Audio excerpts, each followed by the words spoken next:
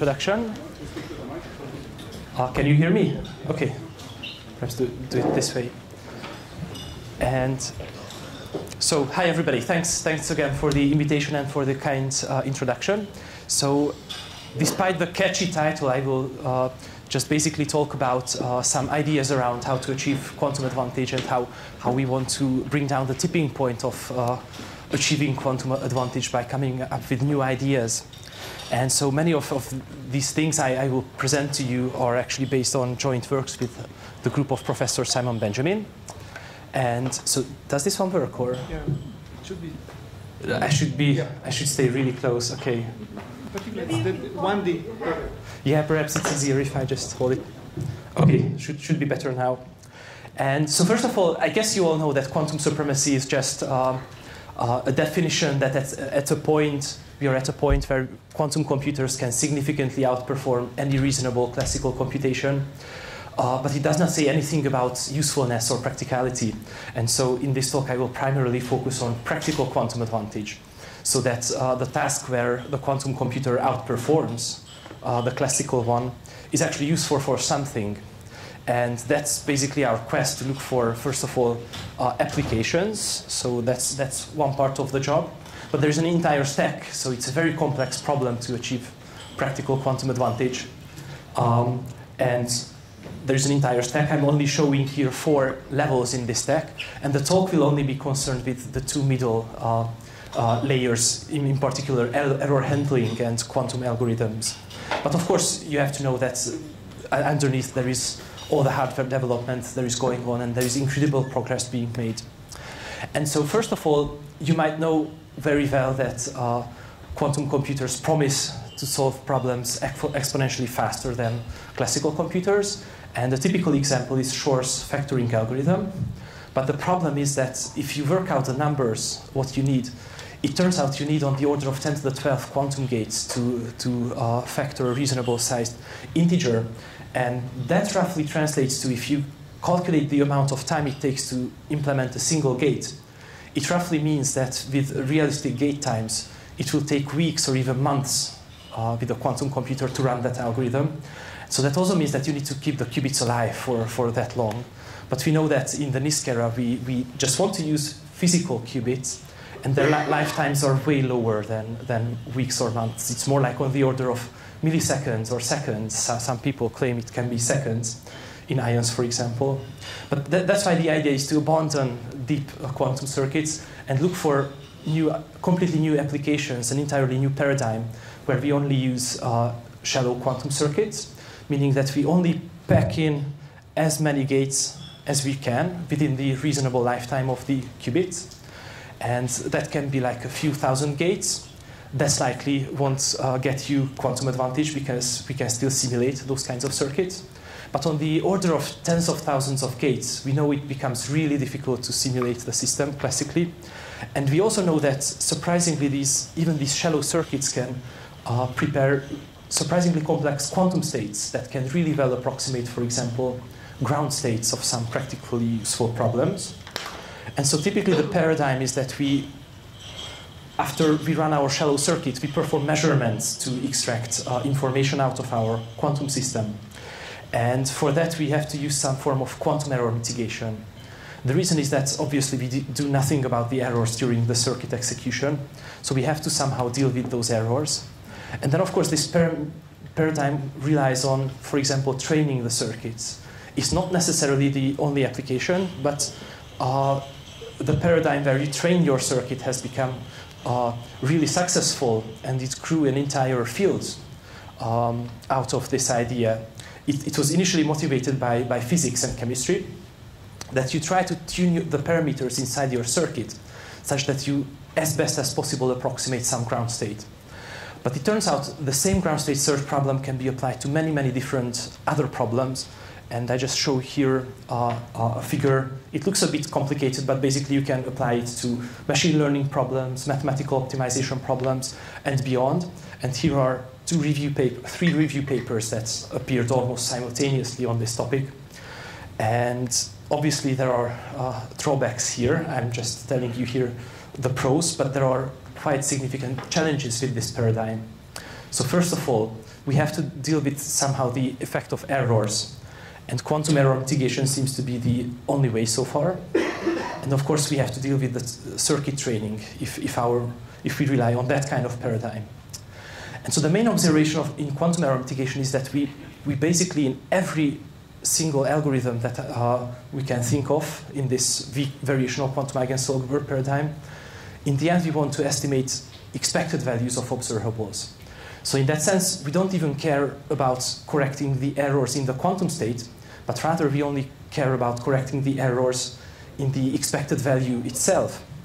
And so the simplest way is to actually try to learn how the noise affects uh, the expected value and try to figure out uh, how uh, what that expected value would ideally be if we had no errors.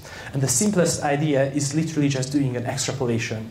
So you use your quantum device, you measure the expected value at some physical error rate, and then you try to engineer your quantum device so that it magnifies the error rate. So uh, it's extremely hard to make the error rates come down to get better, but it's actually very easy to make it worse.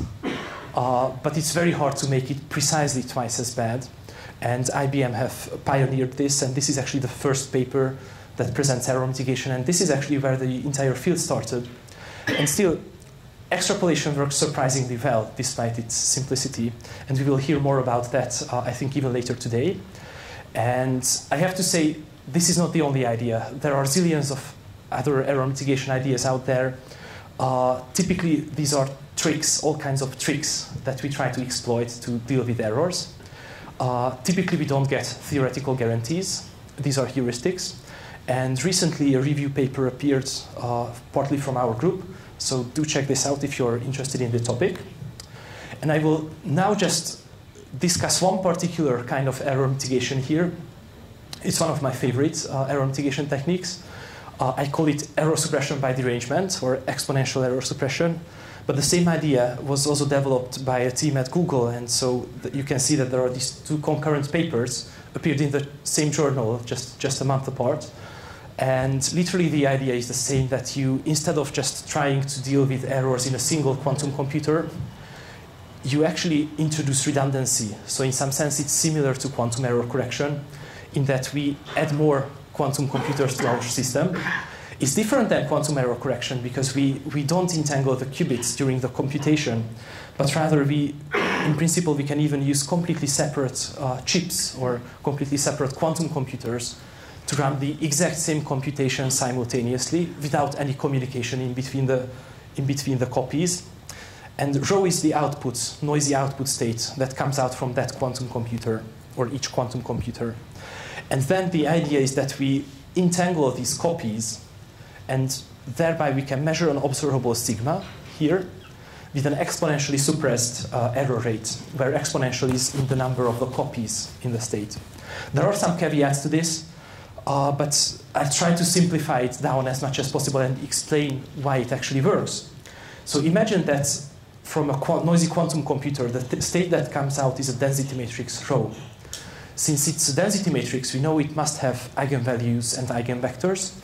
And since it's a representation of a state, we know that the eigenvalues are actually probabilities that a particular state happens, and the eigenvectors are the pure states that correspond to those probabilities.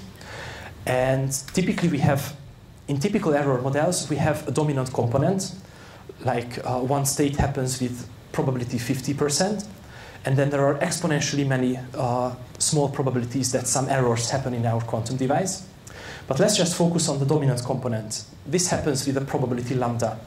And when it comes out of my quantum device in a single shot run, then I do a measurement. I want to measure this observable sigma. As you can see, I, I represent here the n copies of that pure state. And I reproduce the expected result. So that's the expected value I want to measure ideally. However, there are exponentially many error events, and one of them might happen with uh, quite substantial probability, unfortunately. And when that happens, effectively, I'm looking at now the other eigenvectors of the density matrix, which happen with some smaller probabilities lambda k. But when it happens, then we see that there's an other eigenvector in one of the copies. This is the most likely event that can happen. And as you can see, unfortunately, it yields a wrong, erroneous measurement process. And, and that's, that contributes a burden to our uh, expected value overall. And so we want to remove that. And it turns out we can actually remove uh, that error event just by, instead of measuring the operator sigma, we rather measure the operator sigma times the swap operation.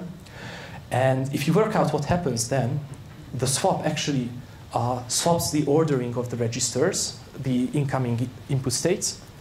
And because of that, the scalar product factorizes into this form, where we have a scalar product between two eigenvectors of the density matrix.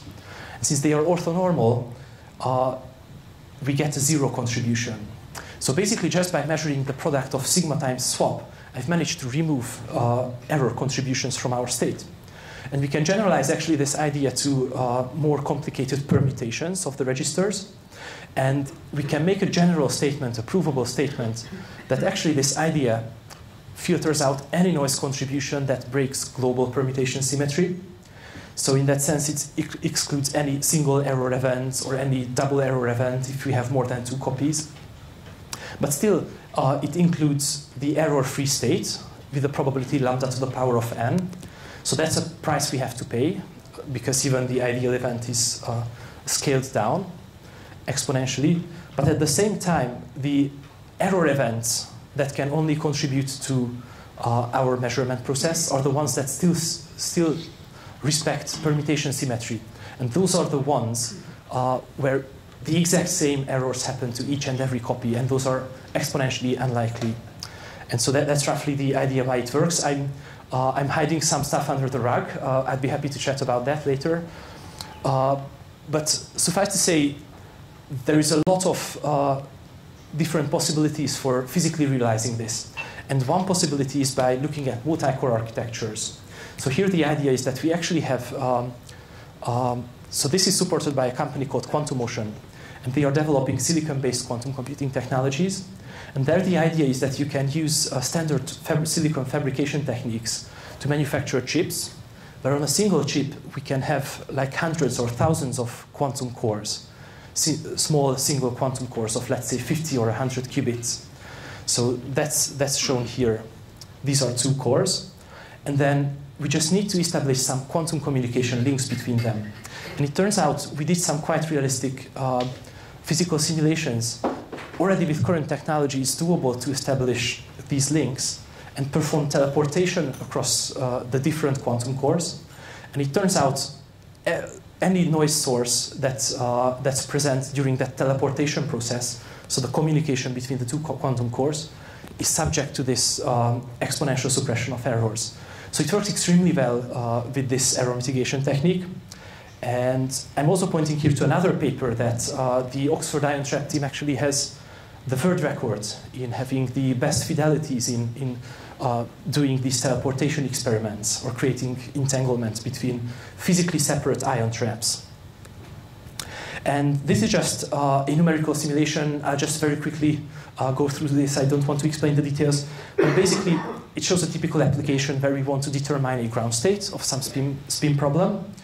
And the x-axis shows the circuit error rate, the average number of errors in the execution of the entire circuit.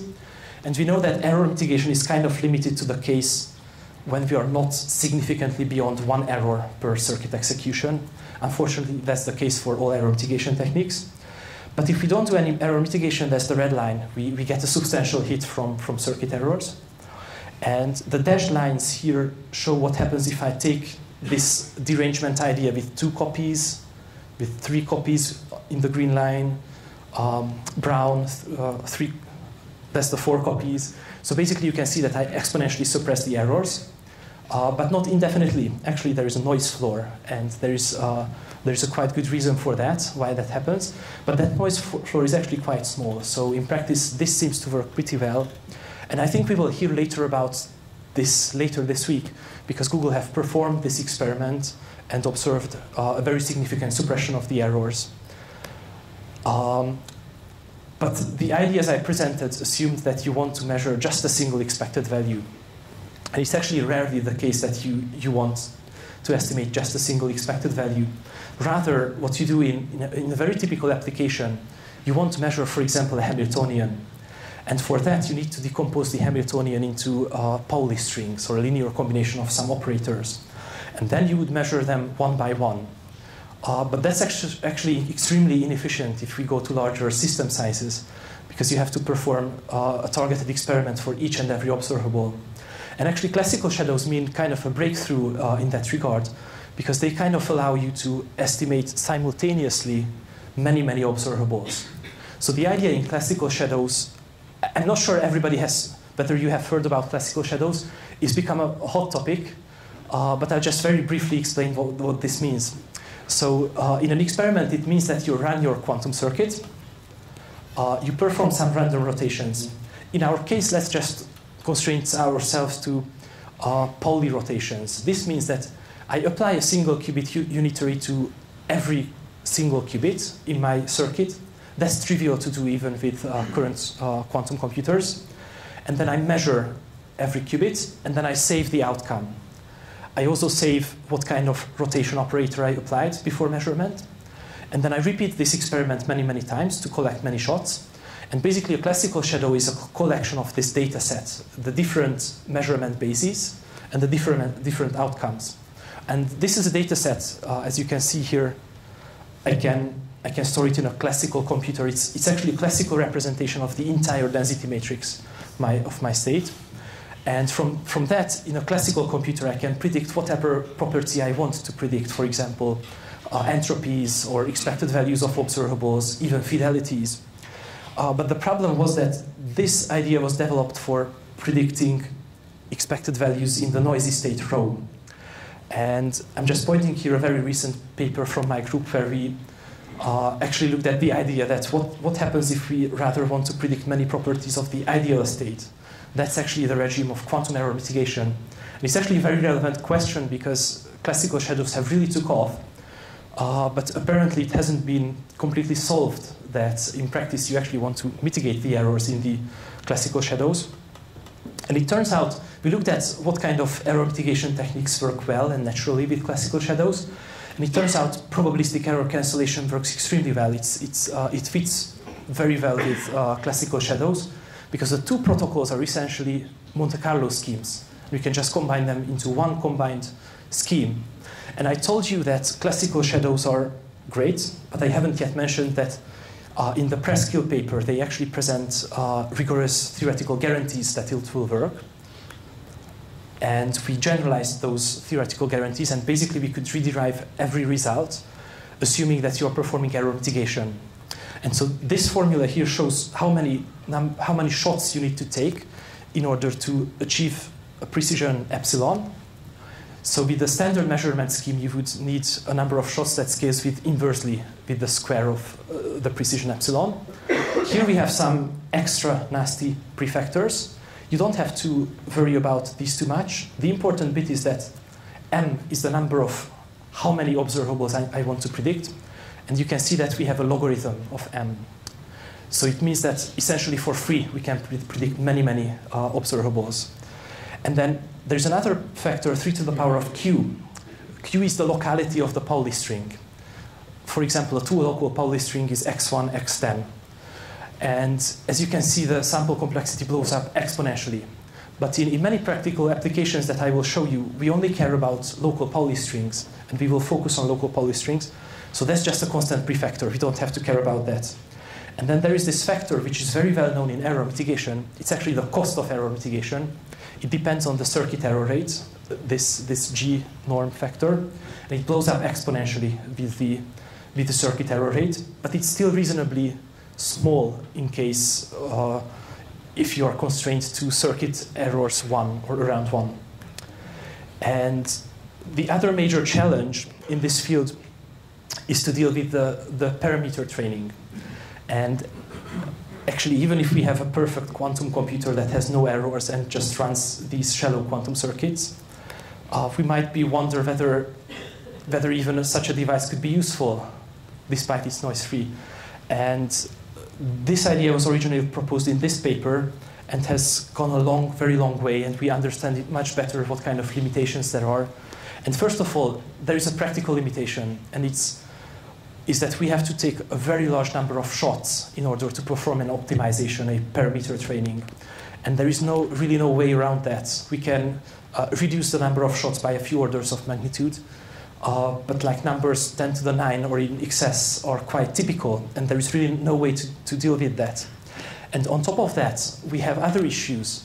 For example, in this training landscape, we might want to do gradient descent to find the local minimum. However, once we find the local minimum, we might think that, oh, we have found the ground state.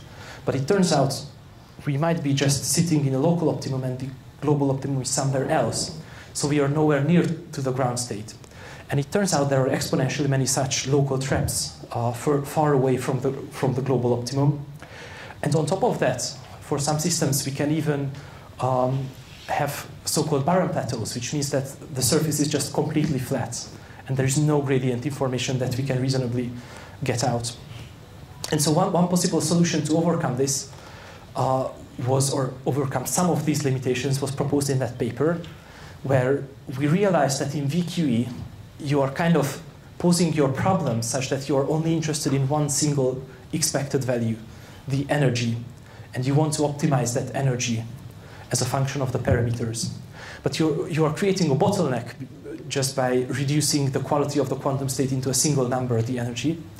And in this paper, what we do, we instead say that let's optimize simultaneously 10 to the 8 surfaces.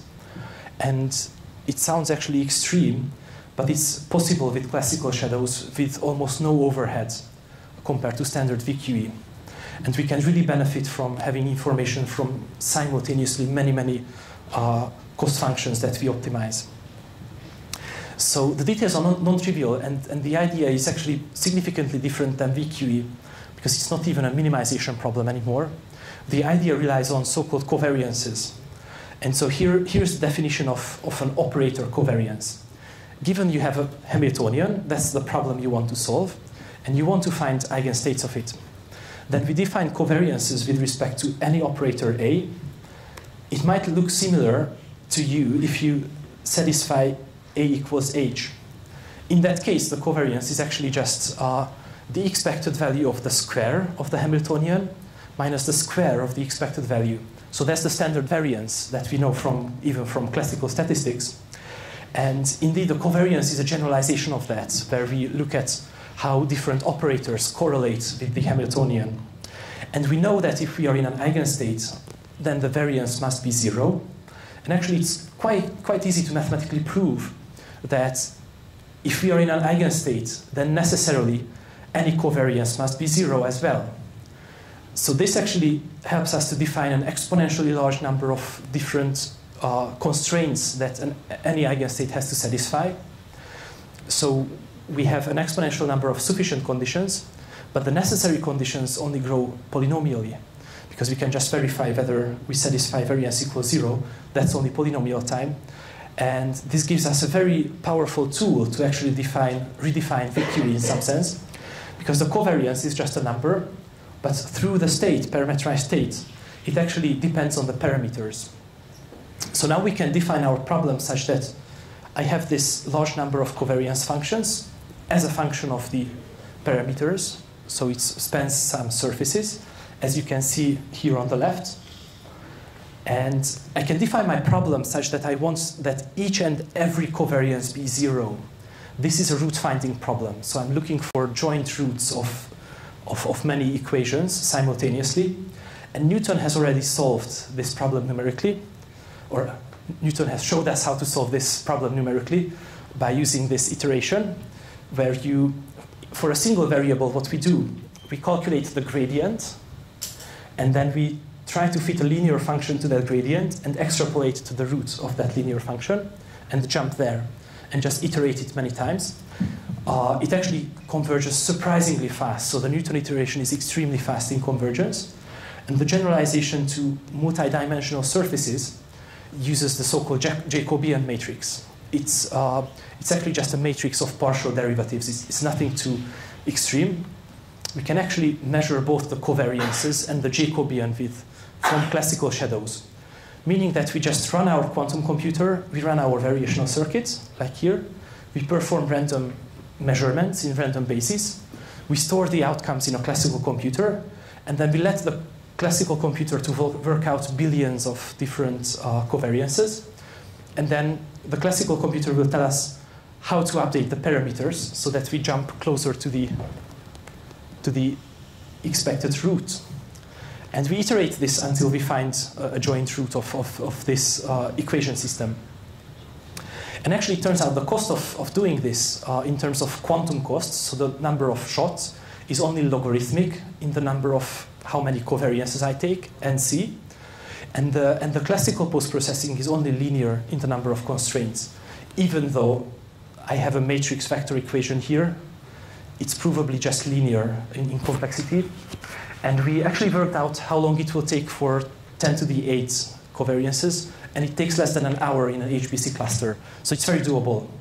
And we actually observed in numerical simulations that as I take larger and la larger number of NC, so I take more and more equation systems and I solve them simultaneously, then I can proportionally um, improve the quality of the optimization.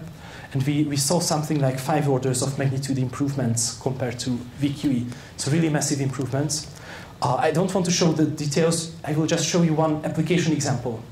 So since the problem is defined such that it doesn't search for ground states, it, it rather gets attracted to any eigenstate, I have to provide a good initial state.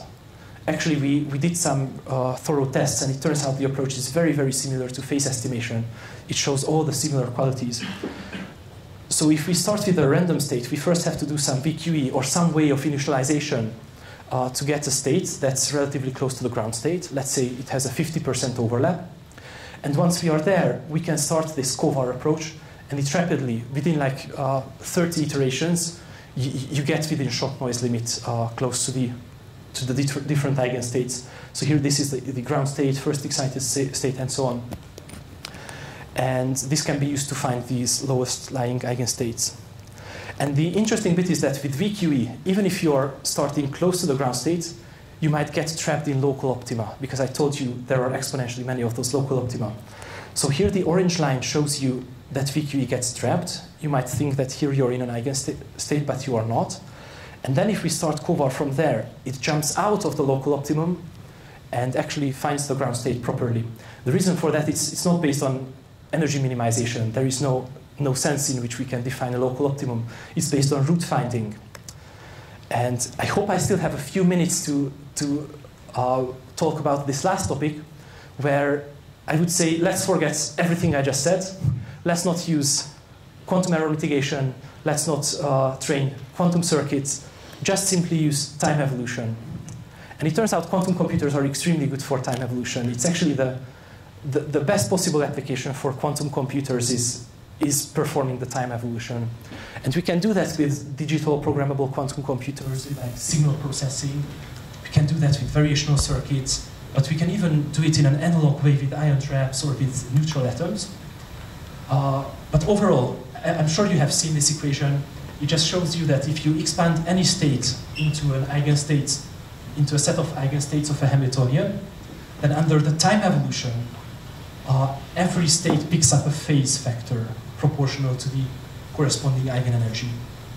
This is what we, this is these are the phases that we want to learn in phase estimation. But phase estimation is expensive because you need uh, controls, unitary evolutions, and so on.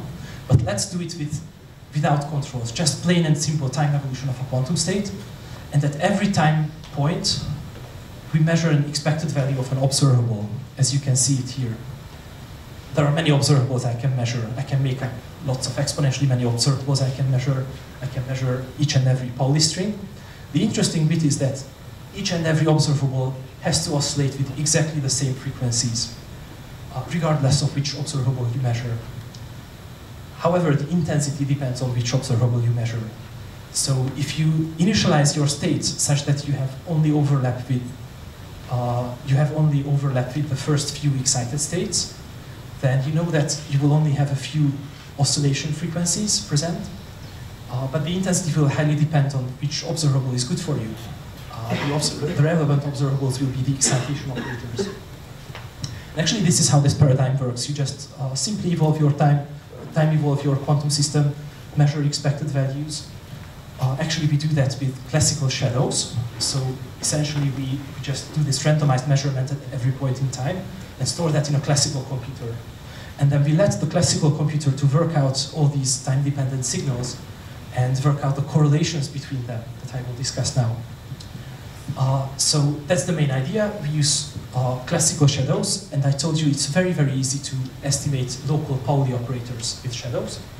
And it turns out if you just restrict, restrict to three local Pauli strings, we can capture almost all the physics we have in typical uh, uh physical systems. But of course, it highly depends on the problem. Uh, but we can straightforwardly just extend the approach to four local Pauli strings and beyond. And basically, we measure this data matrix where every row and column corresponds to a different time or different observable measurement. And this is how it looks. So the y-axis is the time, a time evolving 200 steps. And at every time step, I can use classical shadows to predict many different observables. But here in this plot, I actually only use 10 shots. And that means I have basically just shot noise in this, in this figure. So you might wonder how, how, how is it even possible to extract information from, from such a noisy like data matrix? And the answer is actually, indeed it is just shot noise, or mostly just shot noise, but there are correlations. Actually, there is a strong temporal correlation in this y direction, because oscillating signal is strongly autocorrelated with itself at a later time.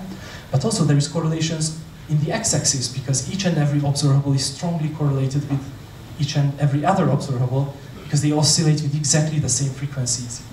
And if we have uh, a good initialization, so overlap with only the first few eigenstates, then we can isolate only a few frequencies, and that means we have this very strong correlation that we can reveal with something that resembles to a principal component analysis. But basically, I calculate a correlation matrix that's just a matrix-matrix product of this data matrix with itself. And you can already see I don't know if you can see it, but there is like a periodic pattern in that, uh, in that uh, correlation matrix. And to calculate this requires only linear time in the number of different observables. So it's very doable at, uh, with an HPC cluster. And it turns out with a single HPC node, we can do this in less than an hour for as many as 10 to the 8 signals. And here, here, here I show how it scales. And once we, once we are done, we actually want to calculate the dominant eigenvectors of this uh, matrix. And the reason for that, in signal processing, they call this the signal subspace. The signal subspace is spanned by the dominant eigenvectors of this matrix. And actually, those will be the, the oscillating things that you see on the screen. And from, from, from that signal subspace, by just doing a Fourier transform or, or doing some more sophisticated techniques, we can extract the spectrum. And as you can see, even with 10 shots uh, per time step, we can extract a really good, strong signal. So this simulation is for 14 qubits for a highly non-trivial problem. And the advantage of, of using classical shadows is that we can, by increasing the, the number of observables, I can, with the square root, uh, suppress the shot noise, or actually improve the signal-to-noise ratio in my spectrum. And I hope I have, I still have two minutes, I think. I wanted to show you two bits why it's interesting to do shadow spectroscopy.